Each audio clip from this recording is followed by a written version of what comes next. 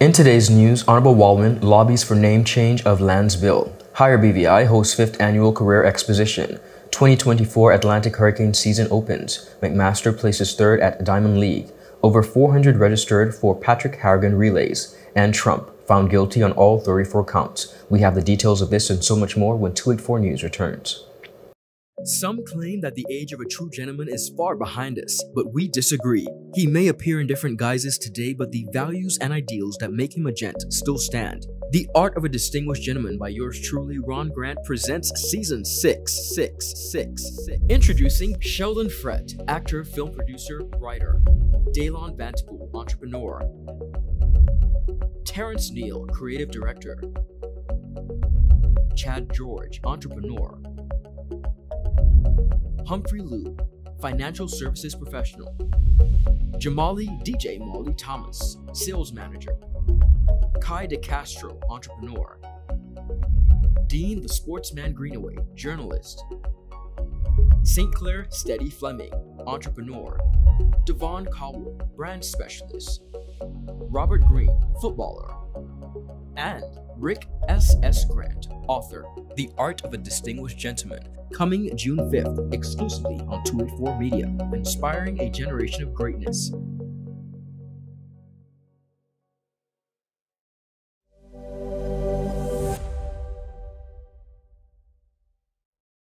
At Hire BVI, we're not just about business.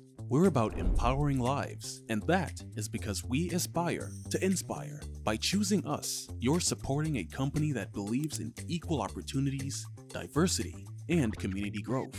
Our mission goes beyond profit. It's about providing HR solutions, fostering talent, and leaving a positive impact.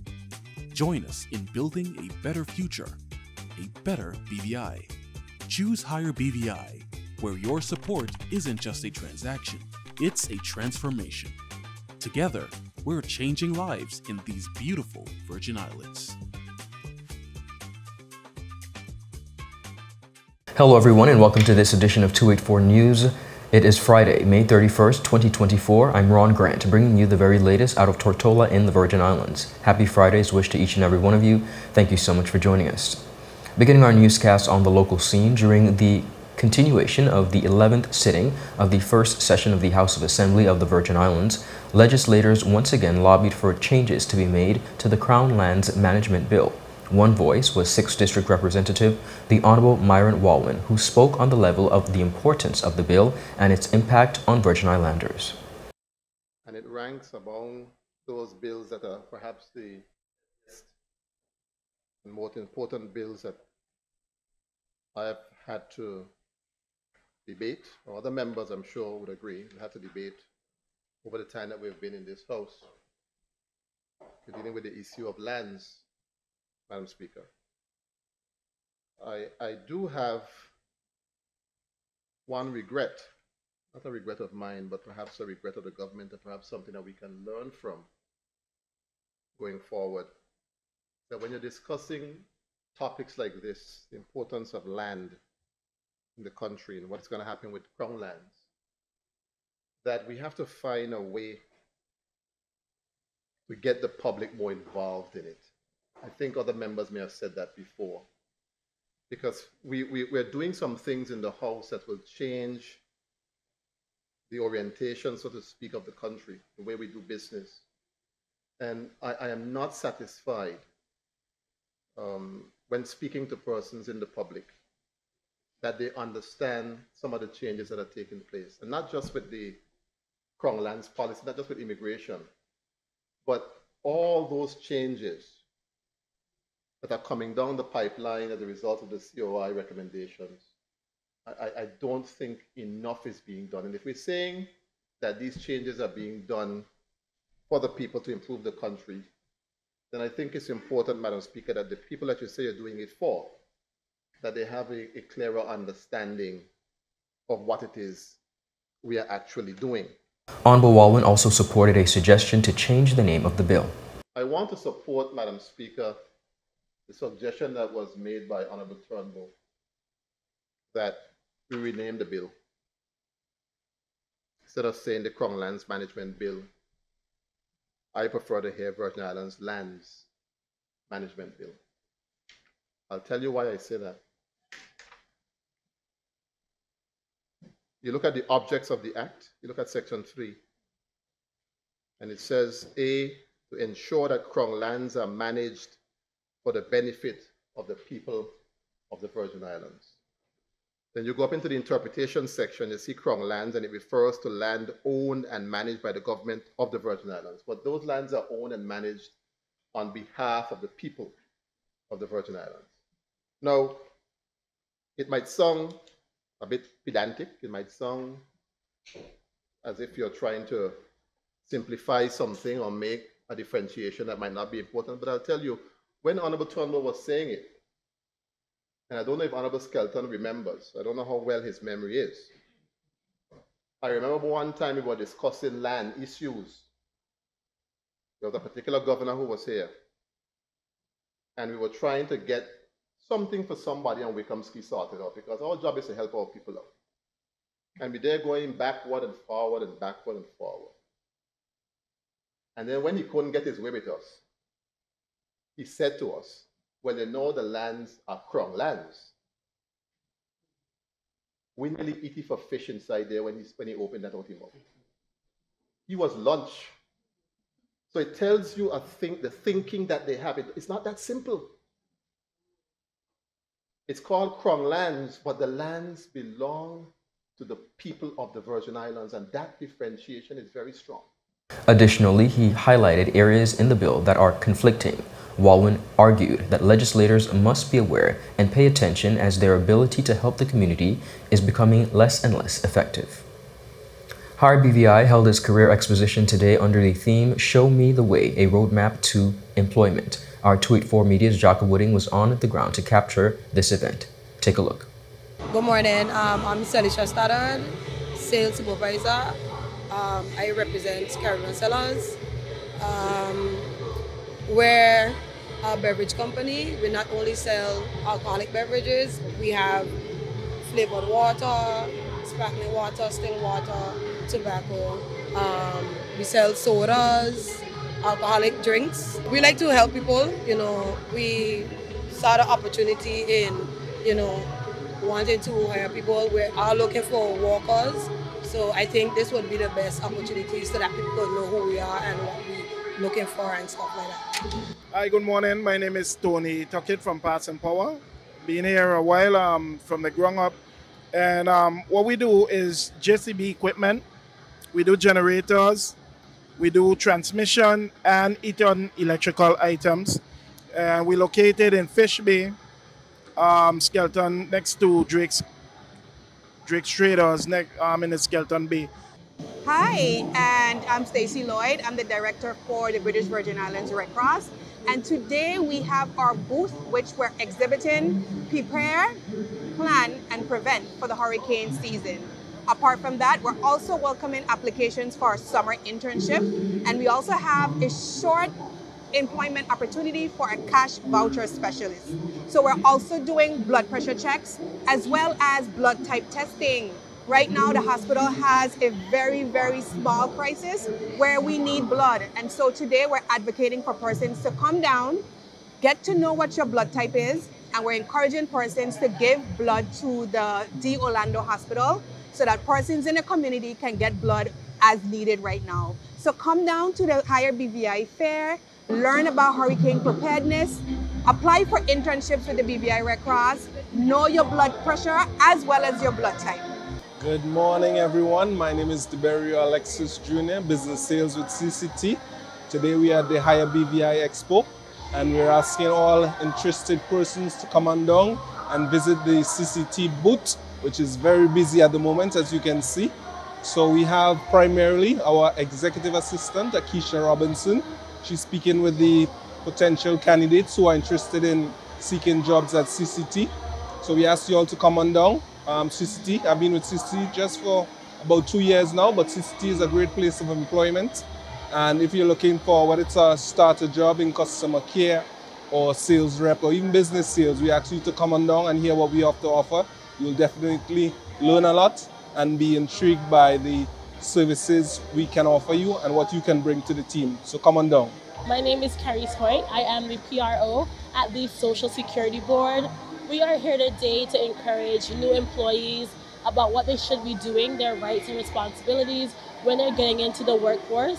What we're really trying to encourage persons to do when to start working, regardless of how long you've been working, whether a year or five years, 15 years, ensure that your employer is you know, paying your contributions to ensure that you are protected. You know, we offer seven benefits at the Social Security Board, sickness, maternity, employment injury. We really want the people of the Virgin Islands at every stage of their employment journey to know that they are protected, they are covered by the Social Security Board. Hi, my name is Sherez. I am representing the H. Lavity Stoutt Community College, Robert Mathavious Institute for Financial Services and we're happy to be a part of the Hire BVI event today. We know that typically when people come to Hire BVI, they're expected to come for jobs and so, but we recognize that apart from the unemployed, we also have the unemployed, the underemployed who come to these events, and we also have persons who are looking for a shifting career. And at the HLSCC RMI, we offer a range of courses. We are actually the only professional qualification center in the British Virgin Islands and we've been offering courses, professional courses for the last 20 years. We offer courses such as ACCA courses, that's for accountants. We offer ICA courses with the International Compliance Association, and those courses include courses such as anti-money laundering, governance, risk and compliance, and we also offer courses with the Corporate Governance Institute. Apart from these professional courses, we also offer introductory courses, such as Introduction to Financial Services, Introduction to Corporate Governance, Introduction to Compliance, as well as advanced courses such as the Advanced Corporate Governance. Viewers, up next we have more on the local scene. We'll be right back after a quick commercial break. At Partners for Kids, your child's health and happiness are at the heart of everything we do. We've been the trusted medical home for children and adolescents up to 18 years old. And now, we are excited to welcome a new member to our family of healthcare professionals. Introducing Dr. Aisha Maxwell, our new family practitioner. Dr. Maxwell brings a wealth of experience and deep passion for pediatric and adult care, ready to join our team in providing first-rate health services to your family. At Partners for Kids, we believe in a collaborative approach to healthcare. With partners in occupational therapy and clinical psychology, Partners for Kids, where caring is just the beginning. Visit us at Road Reef Plaza, Tortola, open Monday to Friday, 8 a.m. to 5 p.m. Call us at 284 444 5437 or reach out at info at partnersforkids.com to learn more. Oh, Angie, how can I get my claims paid quick? Rent's due next week. CG processes 99% of claims within five days. Remember when I was hang gliding with those goats? I caught a gust of wind and flew right into a moving car. Every appendage was in the cast, and they paid fast and fairly. That's what I get for trusting a man with a mustache and an eye patch. Now I gotta go. I'm meeting the guy who bedazzled my toes. 99% of claims are processed within five days. CG Insurance. Good like that. Welcome back everyone and thank you so much for sticking with us. Continuing on on the local scene, June 1st is the official start date for the 2024 Atlantic hurricane season. In anticipation of the busy season ahead, our Jaka Wooding sat with representatives of the Department of Disaster Management. Take a look at their discussion. We would have heard from the forecast that we would have put out earlier this year, as well as the one that came out uh, from the National Weather Service indicating that the season would be above average. Uh, we've seen where uh, some of them have predicted upwards of 28 named storms, mm-hmm. uh, 12 to 14 hurricanes, uh, seven or more major hurricanes. That is quite a bit um, that we may expect this season for 2024. And also, as we continue to say, it only takes one mm-hmm. system mm-hmm. to come in our direction and create extreme havoc or even a major disaster for us. So it's very critical that individuals pay attention to the information that's coming out. Uh, don't take it for granted. Don't wait until the last minute. When you look at the National Hurricane Center, uh, the satellite images, when you see everything lights up with all those colors yeah. coming across the, the Atlantic, and then people start to uh, get agitated. No, that's not the time. Right now, when we look at it, it's clear. Yeah, they are saying that not within the next seven days, next 48 hours. We know that could change at short notice. Mm-hmm. However, because we are still not into the in depth or the high point uh, of the season, now is the time for us to begin our preparations. Absolutely. And you mentioned that the information is out there. Let's talk about reliable sources of information because a lot of the time in hurricane season, we see people sharing old videos, people sharing old articles, and it gets others concerned because when you see this information, um, video sharing on WhatsApp, it's difficult to verify them. But at least with the articles, you could check the dates. You could check the dates on posts. Could you just share with us some reliable sources of information about the hurricane season? Uh, certainly. Uh, of course, I have to say the information that's coming from us comes from reliable sources, some that we contract, others that are in agreement based on international and I would say global standards. Mm-hmm. Um, the National Hurricane Center, everyone in the region knows the National Hurricane Center. I should point out that the National Hurricane Center is the official hurricane forecasting uh, agency uh, for this region. Uh, even though we have the satellite met offices throughout the region, throughout the Caribbean, the National Hurricane Center is the official source for hurricane forecasting. And usually, what they do every year, even around this time, they, collab- they collaborate with the various Met units or Met offices throughout the region. And that's where you see the information that this year might be general across the board. But as the systems get closer to uh, the particular landmass or the particular area, that's where you have to pay attention to the official information that may be coming out from that particular um, meteorological office. As you could see, they even put within the disclaimer that um, you should use the information coming out from your local meteorological service yeah. to make particular decisions. For us, for some time, the Antigua and Barbuda meteorological uh, services has been the official force for presenting that type of information for the Virgin Islands. Uh, there's uh, there work there's work in the background as being done to eventually move the Virgin Islands to uh, a place where they are able to where we are able to uh, have our own I would say meteorological office. That would take some time, but there's works that is is ongoing. But for now, uh, the information that's coming out from us comes via the Antigua and Barbuda Meteorological Service as well as via the National Hurricane Center. The full interview will be available on all 284 media platforms. BVI lander Kyron McMaster delivered an impressive performance at the Wanda Diamond League Bislett Games in Oslo, Norway on Friday, securing a third-place finish in the men's 400-meter hurdles. Running against some of his top competition for the upcoming Paris Olympic Games, the world number 3 McMaster clocked a time of 48.49 seconds. The race was a thrilling contest with Brazilian Alisson Dos Santos and world number one ranked Karsten Warholm of Norway battling for the top spot. In a stunning upset, Dos Santos edged out Warholm, crossing the finish line in 46.63 seconds, while Warholm, racing in front of his home crowd, finished closely behind with a time of 46.70 seconds. McMaster's third place finish reaffirms his status as one of the top hurdlers in the world and sets a positive tone for his preparations leading up to the Paris Olympics. Viewers, up next, we have more on the local scene. We'll be right back after a quick commercial break.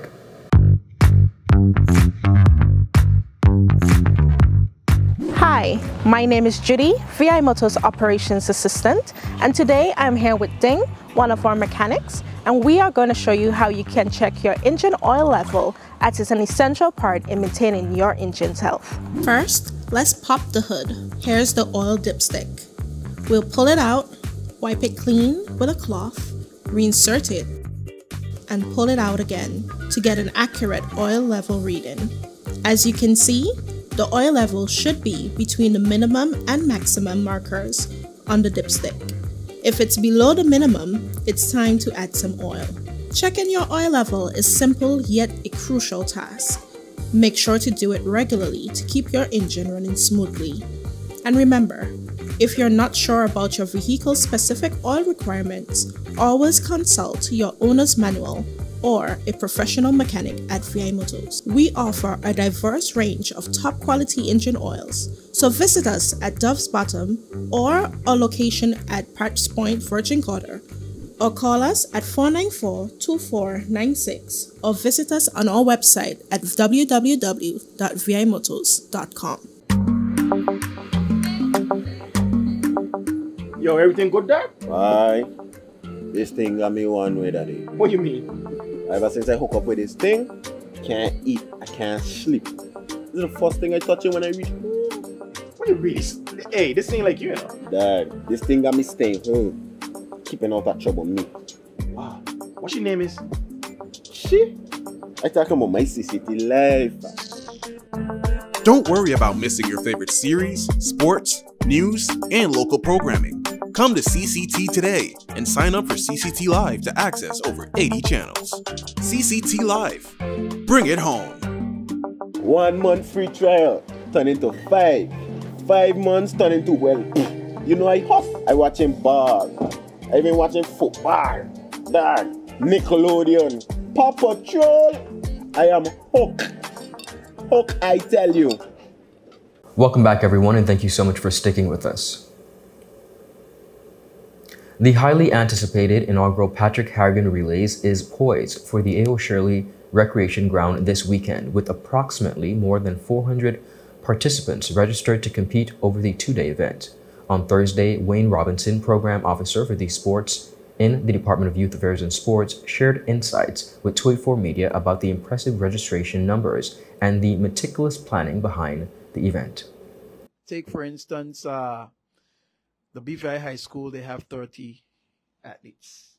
Bregado Flax um, have just about the same, and that's secondary. Um, we have Sebani with about 20, 20 plus. Uh, we have uh, the technical school. They just have about uh, about 15 athletes. Um, uh, again, we have St. George's, another probably 15 athletes, and that's that's just secondary.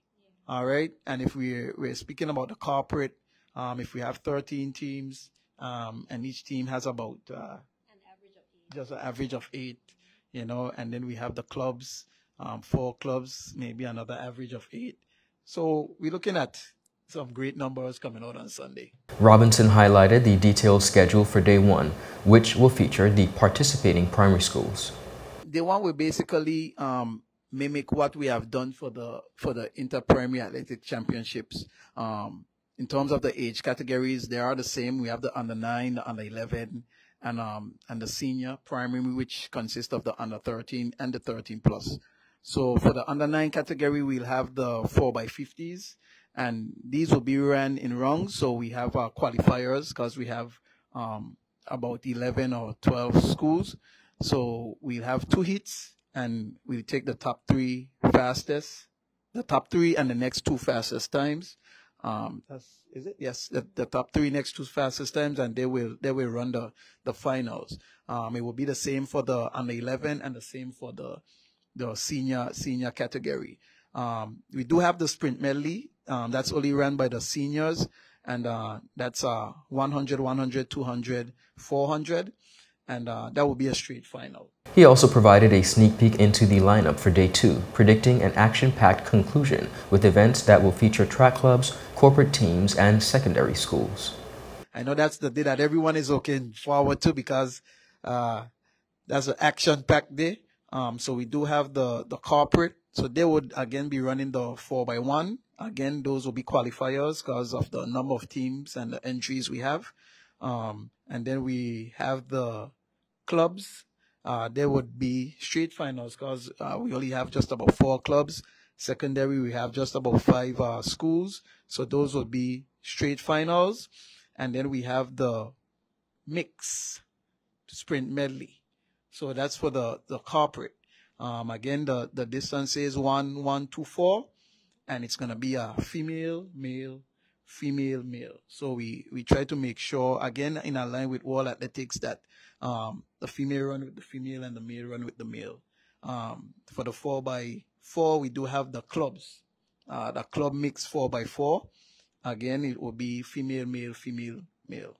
Meanwhile, Stephanie Ross Penn, General Secretary for the BVI Athletics Association, emphasized that the relays will adhere to World Athletics rules. She said this adherence ensures that any record-breaking performances will be globally recognized, enhancing the event's prestige and importance in the athletics calendar. It's one of the things we aim to do and we have been working towards it in all the events, especially as we've begun, begun to increase partnerships across events with the Department of Youth Affairs and Sports. We've always had the partnership, but we're really solidifying it and expanding and really growing. And the initiative coming out of this department to have this event has been an excellent one. And Mr. Robinson and I have had a lot of discussions and one key thing has been that the events must be guided by World Athletics rules. And based on that, it puts us in a really good position because the way in which the world of track and field is moving towards and already has moved towards is that in order for you to be able to use the times that you get at an event, eventually that event has to be what on what's called the global calendar. And so our aim is to grow this event where by next year we actually put it on the global calendar. It must be properly officiated to be on the global calendar. But by being there, it means indeed that if we have a national team run a particular time, that time can put them in world rankings, whether as juniors or seniors. For those unable to attend in person, the relays will be streamed live on CCT Live, Channel 284, and 284 Media's Facebook page. Coverage begins at 3 p.m. on both Saturday, June 1st and Sunday, June 2nd, allowing fans worldwide to witness the excitement. On the international scene, in a historic and unprecedented verdict, a Manhattan ju jury sorry, has found former United States President Donald Trump guilty on all 34 counts of falsifying business records in connection with a hush money criminal trial. This verdict marks the first time in U.S. history that a former president has been convicted of a felony. The trial, overseen by Judge Juan Merchan, concluded with the announcement of the guilty verdicts, with Judge Merchan setting a sentencing hearing for July 11th. Trump's sentence will be at the judge's discretion and could range from probation to prison time. Prosecutors accuse Trump of participating in a legal conspiracy aimed at undermining the integrity of the 2016 presidential election. They argued that Trump engaged in an unlawful scheme to suppress negative information, which included concealing a hush money payment to an adult film star.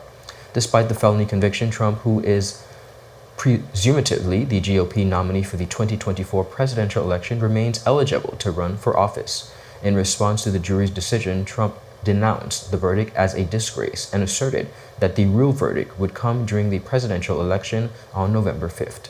President Joe Biden responded to the conviction on social media, stating that this 2024 rival can only be defeated at the ballot box. Biden's message underscores the importance of the upcoming election in determining the future leadership of the United States.